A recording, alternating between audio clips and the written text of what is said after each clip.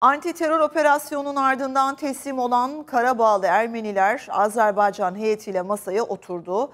Taraflar bölgenin Azerbaycan'a entegrasyonunu ele aldı. Görüşme bir buçuk saat kadar sürdü. Peki görüşmelerden çıkan sonuç ne? Detayları Azerbaycan'da bulunan muhabirimiz Kaan Kalyoncu aktaracak. Kaan kolay gelsin. Nedir bugünkü görüşmeye ilişkin son detaylar?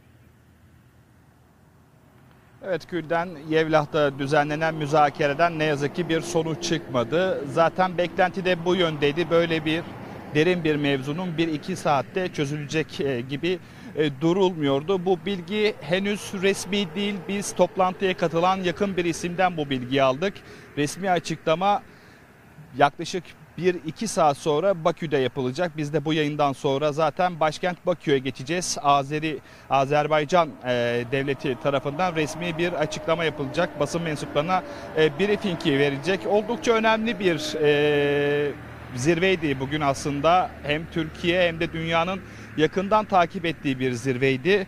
Saatler 11.30'u yerel saate yerel saate göre 11.30'u gösterdiğinde başlamıştı toplantı zirve. Aslında 13'te planlanıyordu ama bir buçuk saat önce e, başladı. Yoğun güvenlik önlemleri altında e, başladı. Masada kimler vardı hemen onları da söyleyelim.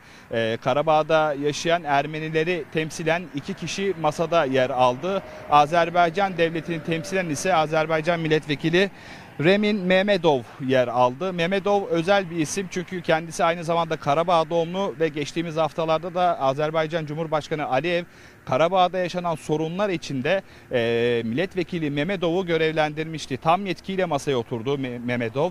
E, Azerbaycan e, milletvekili yanı dışında masada da Rus barış gücüne e, bağlı Rus yetkililer de vardı. Altılı bir masaydı, yuvarlak bir masaydı. Bir buçuk saat sürdü. Yayının başında belirttiğim gibi bir sonuç çıkmadı. Ertelendi bu müzakere görüşmesi.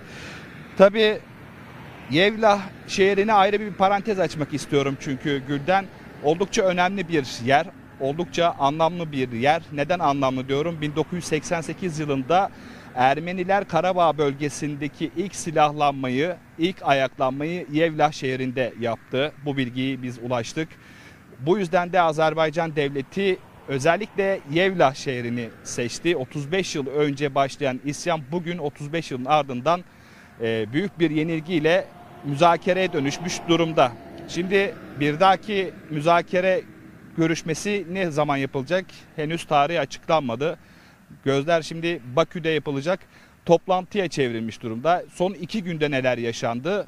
Biliyorsunuz salı günü öğle saatlerinde Azerbaycan ordusu Karabağ'da artan terör eylemlerine karşı Ermeni milislere karşı anayasal düzeni tekrardan tahsis etmek üzere bölgede anti terör operasyonu gerçekleştirdi. Operasyon o kadar etkiliydi ki Azerbaycan o kadar Azerbaycan ordusu o kadar kararlıydı ki daha operasyon üzerinden 24 saat geçmeden Ermeni milisler boyun eğmek zorunda kaldı. Dün saat 13'te barış teklifinde bulundu. Azerbaycan aslında operasyon başlattığı ilk dakikadan bu yana şartları vardı. O şartlarını yine sıraladı. Birincisi bölgede Karabağ'da bulunan Ermeni silahlı güçler silahlarını bırakacak. Bölgeden tahliyesi yapılacak. Ermeni Ermeni güçlere ait karakollar, mevziler, askeri üsler teslim edilecek teslim edilen yerlere de Azerbaycan ordusu girecek. Aynı zamanda Ermeni milislerinde bölgeden tahliyesi yapılacak. Yine Ermeni milislere ait ağır silahlar, mühimmatlar cephede bırakılacaktı. Bu şartlar vardı, kabul edildi dün. Bugün de müzakere yapıldı ama bir sonuç çıkmadı. Biz de Azerbaycan'da TGRT Haber ekibi olarak kameraman arkadaşım e, Yusuf Öztürk'le birlikte bölgede yaşanan gelişmeleri an ve an takip ediyoruz. Şimdi bu yayından sonra Bakü'ye gideceğiz. Bakalım Azerbaycan e, makamından Azerbaycan devleti makamından nasıl bir resmi açıklama gelecek görüşmeye ile ilgili gelişmeler oldukça tekrardan bağlanacağız dedim Gülden. Peki çok teşekkür ediyoruz Kaan Kalyoncu'ya ve kameramanımız Yusuf Öztürk'ü oradalar. Son detayları bizlerle paylaşmak üzere diyelim ve devam edelim.